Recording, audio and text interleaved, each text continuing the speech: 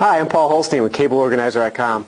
These are my trusty assistants, Valerie and Christina. Thank you.